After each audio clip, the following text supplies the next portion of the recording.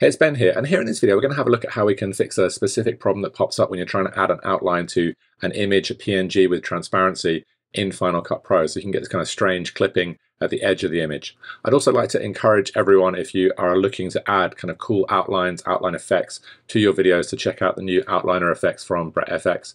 Super cool plugin, really nicely made, lots of options and animations, and a very cool plugin to check out. But let's jump in and have a look at how we fix this issue that can pop up when we're adding outlines to our PNG images within Final Cut Pro. So as you can see from this PNG I've got placed on the timeline here, if we zoom in a little bit to 400%, you can see at the edge of my PNG image here, we highlight that, you can see basically the outline is cropping. So as I increase and decrease the outline width there, we're cropping off at the edge of the, the PNG. So if we hit the transform controls, you can see that's actually the kind of physical edge of the image that we have here in Final Cut Pro.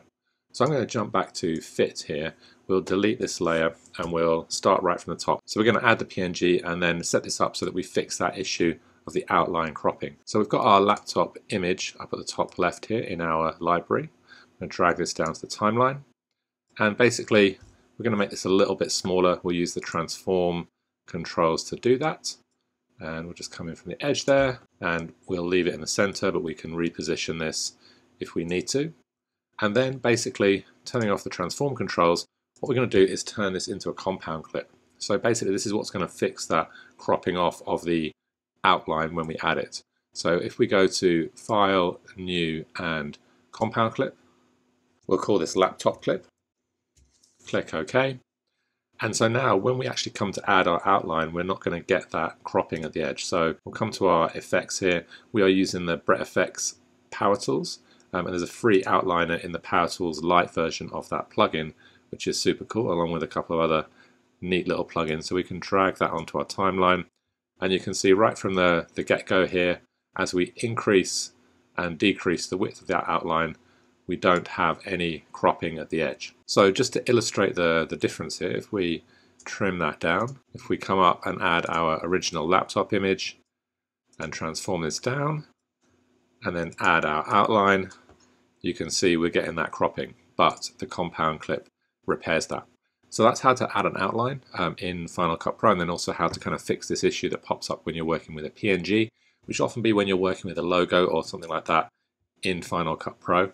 We have some pretty cool options in the Power Tools outline here. If we highlight our clip here, we can change the distance of the outline so we can have this kind of stepping away from our outline. We can add more than one outline. So if we add a second outline here, you can see we can choose a, a kind of different color, have those combining together in some kind of interesting ways and so on and so forth. So we can really kind of play around with this nicely, have some nice effects happening as we modify and work with our outline. And then obviously avoiding that cropping issue, which will happen again if we kind of add multiple outlines here too.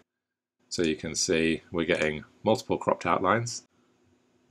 And by wrapping up into a compound clip, so file, new and compound clip after we've added our PNG to the timeline. That will stop any of this cropping happening as we're adding those outlines. So I hope this is a useful solution if you are working with outlines on your PNGs and you're getting that strange cropping effect. If you have any questions about Final Cut Pro, then please do leave them in the comments below. Otherwise, I look forward to seeing you on the next tutorial.